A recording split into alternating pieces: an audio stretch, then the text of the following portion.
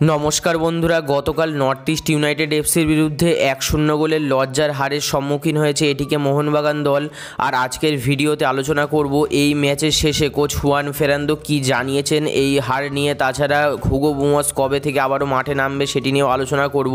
তাই ভিডিওটি শেষ পর্যন্ত দেখো এবং এটিকে মোহনবাগান দলের সমস্ত আপডেট পেতে অবশ্যই চ্যানেলটিকে সাবস্ক্রাইব করে নিও। সো সাংবাদিক বৈঠকে তাকে প্রশ্ন করা হয়, লিগ টেবিলের সর্বশেষ দলের বিরুদ্ধে এই হতাশাজনক হার সম্পর্কে কি বলবেন? এই প্রশ্নের উত্তরে তিনি বলেন, অবশ্যই আমাদের পারফরমেন্স নিয়ে আমি খুশি নই। একটা দল তো আর লিগের কুড়িটা ম্যাচেই হারতে পারে না। তাদের কাছে জেতার সুযোগ আসারই কথা। আজ আমাদের পারফরমেন্স ভালো হয়নি, তবে নর্থ ইস্টের বিরুদ্ধে আমরা গোলের সুযোগ পেয়েছি। কিন্তু ওদের গোলের পর দলের মেজাজ একেবারেই ভালো ছিল না। চাপে পড়ে কোনো কিছুই ঠিক করতে পারিনি আমাদের দলের ছেলেরা।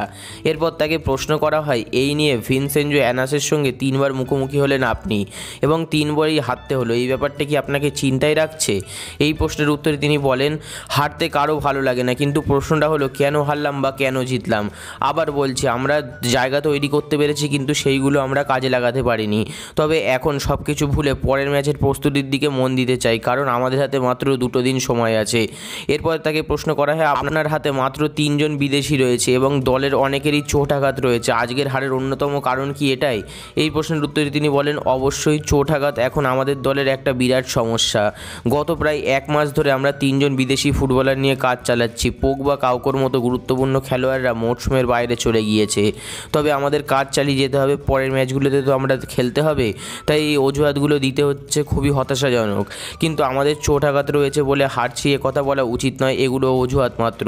আমাদের দলটা উন্নতি করতে চাই, অজুহাতে মনোনিবেশ করে লাভ নেই, বরং কাজ করে যাওয়াই ভালো। এরপর প্রশ্ন করা হয়, স্লাভকোর সঙ্গে দ্বিতীয় কোন বিদেশি ফুটবলারকে আপনারা সই করিয়েছেন যদি একটু বলেন।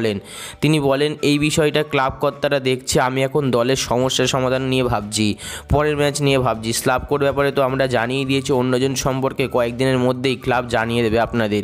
এরপর তাকে প্রশ্ন করেন, নতুন বিদেশিরা চলে আসার পর কি আপনারা ঘুরে দাঁড়াতে পারবেন বলে মনে হয়? তিনি বলেন, আশা তো করছি, মাঝ মরশুমের মাঝপথে দলের পরিবর্তন এনে যাতে কাজটা এগিয়ে নিতে পারি। দলের আবহাওয়াটা যাতে একই রকম থাকে, সেই চেষ্টাই করছি। এরপর তাকে প্রশ্ন করা হয়, জানুয়ারির দলবদল আপনার কাছে কতটা গুরুত্বপূর্ণ? হয়ে উঠতে চলেছে। তিনি বলেন প্রত্যেকের কাছেই গুরুত্বপূর্ণ তবে আমাদের কাছে হয়তো বেশি। কারণ এখন আমাদের শিবিরে সতেরো জন সুস্থ ফুটবলার রয়েছে।